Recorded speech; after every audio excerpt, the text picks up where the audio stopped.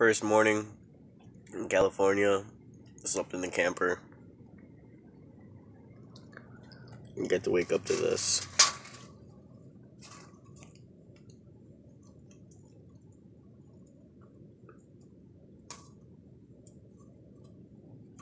Oh yeah, ocean view.